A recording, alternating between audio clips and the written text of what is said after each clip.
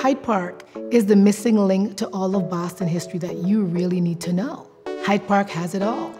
It is a place where you can come and expand your thinking about what Boston is and learn about who lives here in Boston. Well, the growth that's going on in Hyde Park is amazing. You have a lot of new, young, up and coming businesses coming to the community. I'd like to think that this space emanates goodwill. We get a lot of goodwill back from Hyde Park. We're very fortunate to be here through the pandemic. We've survived. We appreciate the fact that this community has been very supportive of us.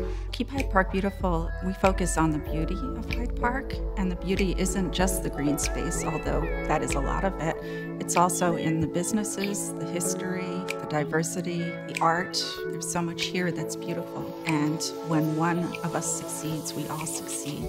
This community is making a lot of noise in the city. You have a lot of successful businesses here that are doing so well that when customers are searching for services or products that they want, it's bringing them right here to Hyde Park. They're not all cookie cutter, they're not all the same, and yet the identity and the sense is that you are a part of something that's, that's united, that is connected, that is collective.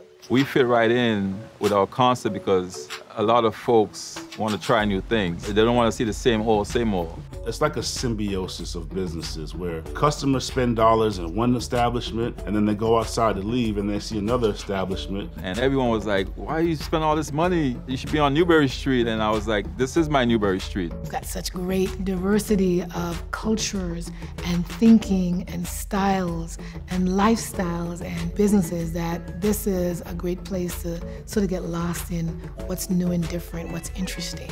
We're going to be very inclusive for everyone, much like Hyde Park, one of Boston's most diverse neighborhoods. Proudly, it's a very vibrant community, wildly diverse, and I think our artists here reflect that. Juneteenth celebration is an example of the connectivity in Hyde Park, of everyone coming together, all the different community groups, businesses, efforts, all coalescing around this one event and all working together to make it happen. The food scene in Hyde Park is very lively. There's a ton of options for you to eat in Hyde Park. I mean, whatever you have a taste for, you can come and walk this block and you are going to find it. It's funny because even with ZAZ, the fans of ZAZ, so to speak, ranges from like young to my grandma's age. It kind of offers so much flexibility in what I do as a chef. You know, Hyde Park is one of those places that is so unique. It's it's really a hidden gem. And when I am in Hyde Park, I feel as though I'm, I'm accessing the best of both worlds. We bought our first home in Hyde Park. We started our first business in Hyde Park, and then we ended up buying the building where our business was located in Hyde Park. I feel like we achieved the American dream.